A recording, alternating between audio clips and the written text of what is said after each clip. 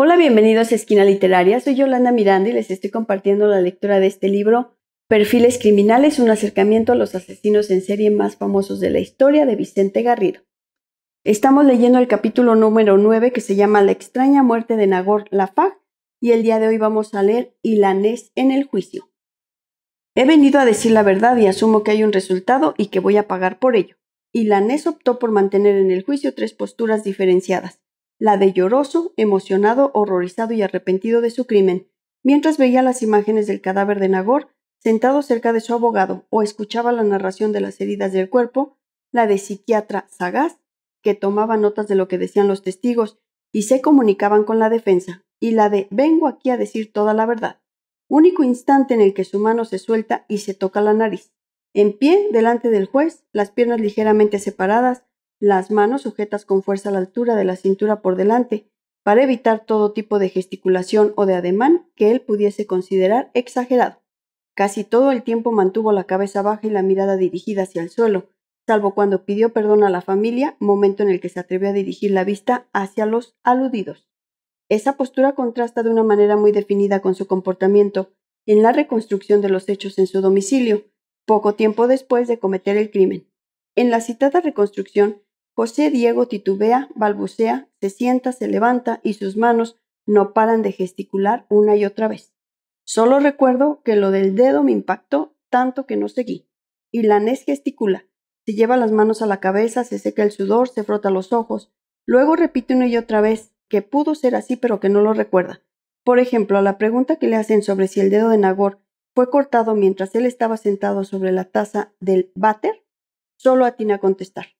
Pudo ser así o no, no lo sé, solo sé que inclinado no, pudo ser sentado o de pie. En suma, recuerda haberle cortado el dedo a Nagor y parar ahí de descuartizarla al considerar el hecho de cortarla en trozos como totalmente inasumible por la dificultad que tal acto conlleva, pero no recuerda haber intentado cortarle la muñeca primero, ni cómo estaba situado cuando le cortó el dedo, por ejemplo, si de pie o sentado.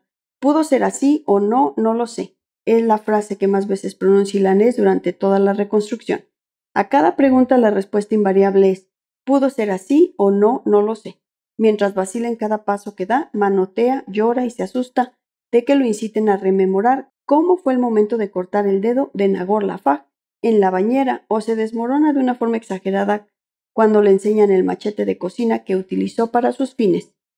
Ese comportamiento en la reconstrucción contrasta con la actitud estática, casi hierática, salpicada de algún retraso emocional que mantuvo durante los días del juicio.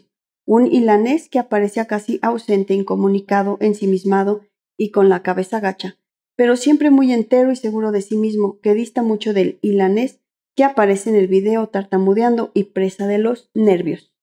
Me avergüenzo de mí mismo. No obstante, Ilanés pidió perdón varias veces durante el juicio, dando muestras evidentes de arrepentimiento que fueron acompañadas por la puesta a disposición de la familia de Nagor de todo su patrimonio. Perfil de Nagor Lafag. Nagor Lafag Casasola tenía 20 años cuando falleció. Había nacido en Irún y era estudiante de enfermería. En concreto, Nagor hacía prácticas de enfermería en la clínica de Navarra. Estaba en segundo curso de carrera. Nagor era una chica bien parecida, simpática y sociable. Sobre su personalidad abierta y agradable coinciden todos los testimonios de sus familiares y amigos, en una entrevista desarrollada después de su muerte, su madre la describió de este modo. Nagor era una chavala muy abierta, habladora, de cuadrilla por Irún. La policía encontró 500 contactos en su móvil. Hizo gimnasia rítmica desde los 5 a los 18 años, estaba en la orquesta de acordeones del conservatorio, íbamos juntas todos los viernes al cine, había empezado las prácticas en oncología y confiaba en hacer psiquiatría. Era una enfermera vocacional, le encantaba. Nagor tenía los SMS de todos sus amigos anotados en una libreta desde hacía varios años, para que no se perdieran en caso de tener que borrarlos del móvil, lo que muestra que cultivaba sus afectos con mucho cariño. La joven hacía amigos allá por donde iba, gracias a su disposición amigable. Así pues, Nagor Lafag se distinguía fundamentalmente por ser una persona abierta, alegre y divertida, con una vida completa llena de aficiones y muchas personas queridas. Pero su familia afirma también que era una chica de carácter fuerte. Pero su familia afirma también que era una chica de carácter fuerte y que no se dejaba amilanar así como así. Una entrevista a su hermano menor Javier Lafac la muestra como una joven decidida y con mucha personalidad. Javier tiene claro que su hermana plantó cara a su agresor en un determinado momento, porque ella no se dejaba pisar por nadie, y se suma la tesis de que pudo amenazarle con denunciarlo por algo que sucedió en la casa del crimen, y además conociendo como conocía a mi hermana, estoy seguro de que lo habría hecho, que habría salido de allí y habría ido a denunciarlo de inmediato, asegura convencido.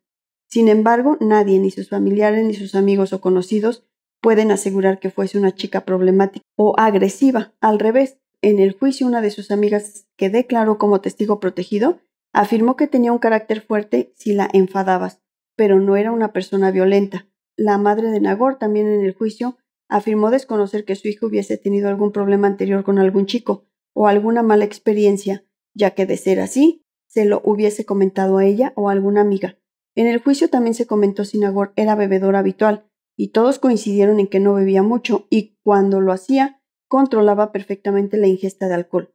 Su amiga también relató en el juicio que la noche del 6 de julio salió con Nagor Lafac y otras amigas de casa por la noche, pero que se separaron sobre la una o las dos de la madrugada. La víctima entonces apenas había bebido.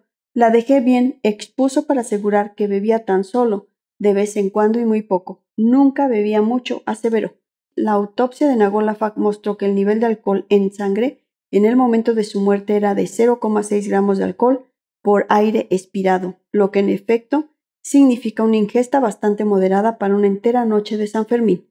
Por otra parte, una de las preguntas más polémicas que los miembros del jurado popular hicieron a Asunción Casasola era la de si su hija era una ligona. Nagor era una estudiante bella, risueña y divertida que adoraba relacionarse con la gente. ¿Cómo no iba a gustar a los chicos? se pregunta su madre.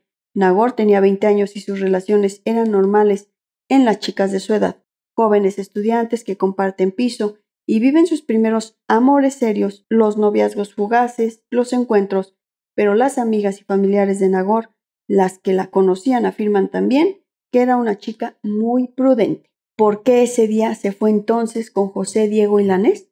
La amiga de Nagor que presenció el encuentro entre ambos contestó a esa pregunta en el juicio. Nagor nunca se hubiese ido con un desconocido, pero José Diego era compañero de la clínica, lo conocía de vista, aunque nunca hubiesen tenido ningún tipo de relación, para ella no era técnicamente un desconocido. También testificó en la vista una amiga y compañera de piso de la víctima, quien señaló que conocía al acusado de vista por motivos laborales igual que Nagor Lafac, por lo que no le extrañó que se hubieran ido juntos. A su juicio, la joven irunesa no se hubiera ido con un desconocido, al que no hubiera visto nunca, y si se fue con José Diego Ilanés, fue porque sabía quién era. Espero que les haya gustado la lectura del día de hoy de este libro, Perfiles Criminales, de Vicente Garrido, un acercamiento a los asesinos en serie más famosos de la historia. Los espero en el próximo video para continuar con esta y otras lecturas. Muchas gracias por escuchar.